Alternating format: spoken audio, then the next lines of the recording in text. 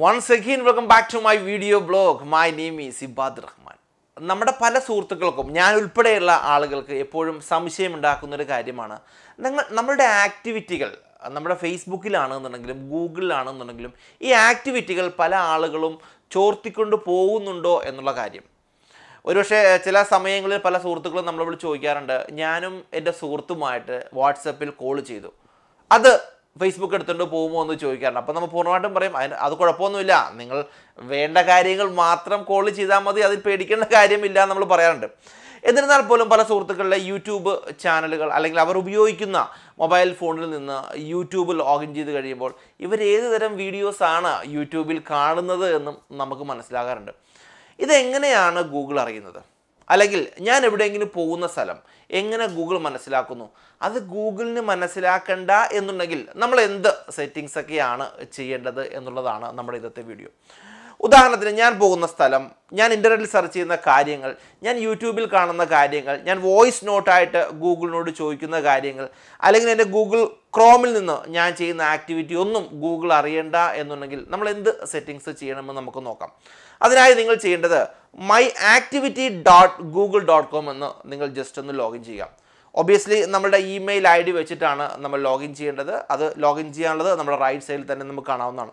നിങ്ങൾ നോക്കിയേ ഞാൻ എന്റെ ആക്ടിവിറ്റി പേജിലാണ് നിൽക്കുന്നത്. നിങ്ങൾക്ക് കാണാൻ സാധിക്കും ക്രോം സെർച്ച് ഹെൽപ്പ് ഇത്രയും കാര്യങ്ങളാണ് ഞാൻ ഗൂഗിൾ ക്രോമിലൂടെ ചെയ്തിരിക്കുന്നത്.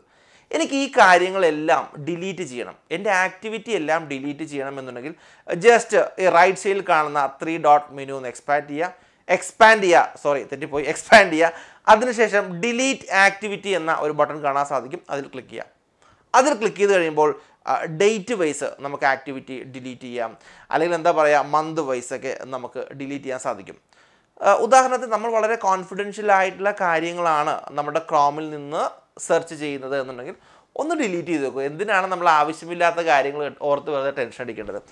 അതേപോലെ തന്നെയാണ് നിങ്ങളിപ്പോൾ കാണുന്ന പോലെ എന്റെ ആക്ടിവിറ്റികളാണ് ഈ കാണുന്നത്. ഞാൻ നേരത്തെ ഫേസ്ബുക്ക് നോക്കിയിട്ടുണ്ട് ഗൂഗിളിൽ സെർച്ച് നോക്കിയിട്ടുണ്ട് ഗൂഗിളിൽ രാവിലെ വന്ന് കുറച്ച് കാര്യങ്ങളെല്ലാം നോക്കിയിട്ടുണ്ട്. അതിന്റെ ആക്ടിവിറ്റികൾ നമുക്ക് കാണാൻ സാധിക്കും. ഇവിടെ നിന്നുകൊണ്ട് നമുക്ക് ഡിലീറ്റ് ചെയ്യാം കേട്ടോ. ഈ ത്രീ ഡോട്ട് മെനു ഒന്ന് എക്സ്പാൻഡ് ചെയ്യുക ഡിലീറ്റ് ചെയ്യുക അല്ലെങ്കിൽ ഡീറ്റെയിൽസ് എന്താണ് നമ്മൾ സെർച്ച് ചെയ്യുന്ന അറിയാനായിട്ട് ഒന്ന് ക്ലിക്ക് ചെയ്ത് കഴിഞ്ഞാൽ ഓട്ടോമാറ്റിക്കലി ആ ഒരു ഇൻഫർമേഷനൊക്കെ വരികയും ചെയ്യുന്നതാണ്.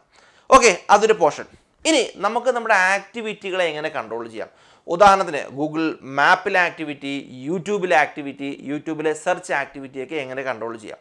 അതിന് നമുക്ക് ജസ്റ്റ് ഒന്ന് ലെഫ്റ്റിലേക്ക് വരാം. ലെഫ്റ്റ് ലെഫ്റ്റിൽ വന്നു കഴിഞ്ഞാൽ ആക്ടിവിറ്റി കൺട്രോൾ എന്ന ഒരു ബട്ടൺ കാണാൻ സാധിക്കും. അതിലൊന്ന് എക്സ്പാൻഡ് ചെയ്യാം. നോക്കാം ഇവിടെ തന്നെ വെബ് ആപ്പ് ആക്ടിവിറ്റി ഉണ്ടാകും. അത് വേണമെന്നുണ്ടെങ്കിൽ നമുക്ക് ഡിസേബിൾ ചെയ്യാം അല്ലെങ്കിൽ ഇനേബിൾ ചെയ്യാം. ഓക്കെ ദെൻ അതേപോലെ തന്നെ നമ്മൾ എവിടെയാണോ പോയത് ആ ആക്ടിവിറ്റി നമുക്ക് കാണാൻ സാധിക്കും. അതായത് ഗൂഗിൾ മാപ്പിന്റെ ഹിസ്റ്ററി എന്നർത്ഥം. അത് ജസ്റ്റ് ഒന്ന് പോസ് ചെയ്ത് കഴിഞ്ഞാൽ നമ്മൾ എവിടെ പോയാലും ഗൂഗിൾ മാപ്പിൽ റെക്കോർഡ് ചെയ്യുന്നില്ല. ആ കാര്യത്തിൽ നമുക്ക് ടെൻഷൻ വേണ്ട. അത് ഇവിടെ നമുക്ക് ചെയ്യാവുന്നതാണ്.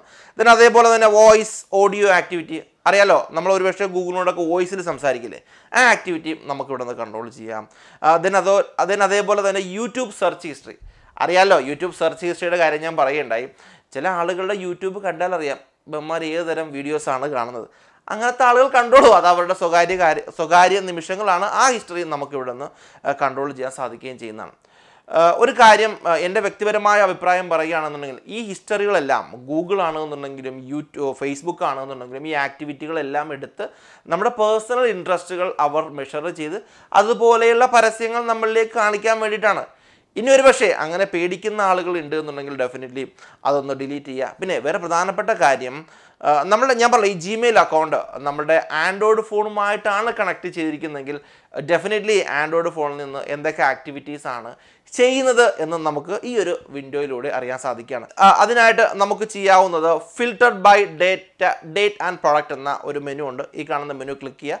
ക്ലിക്ക് ചെയ്യുന്ന ശേഷം ആൻഡ്രോയിഡ് ഒന്ന് ക്ലിക്ക് ചെയ്ത് കൊടുക്കുക. ഒരു കാര്യം ശ്രദ്ധിക്കേണ്ടത് ആ ജിമെയിൽ ഒരുപക്ഷെ ഏത് ജിമെയിലാണോ നമ്മൾ കണക്ട് ചെയ്തിരിക്കുന്നത് ആ ജിമെയിൽ വെച്ച് ലോഗിൻ ചെയ്താലാണ് നമുക്കറിയാൻ സാധിക്കുകയും ചെയ്യുന്നത്.